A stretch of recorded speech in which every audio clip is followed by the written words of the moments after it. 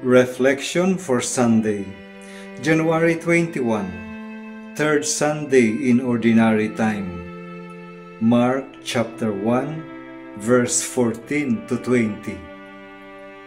What is the prerequisite for following Jesus? It is repentance and belief in His gospel message. We cannot follow without repentance and firm belief in His gospel message. When Simon, Andrew, James, and John responded to his call, they did not simply respond. Along with their response to Jesus came their desire to repent.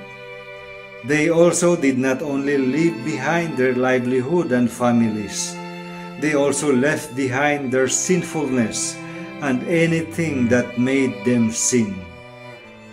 When the four of them joined Jesus to become fishers of men, they were already renewed by the Lord.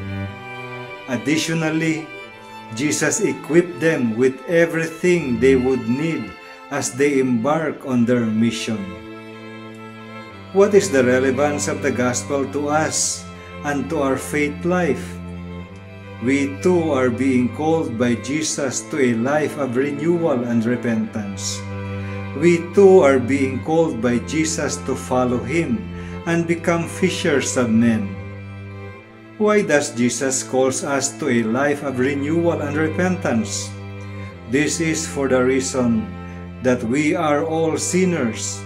No one of us is without sin. Will you respond to this call of Jesus?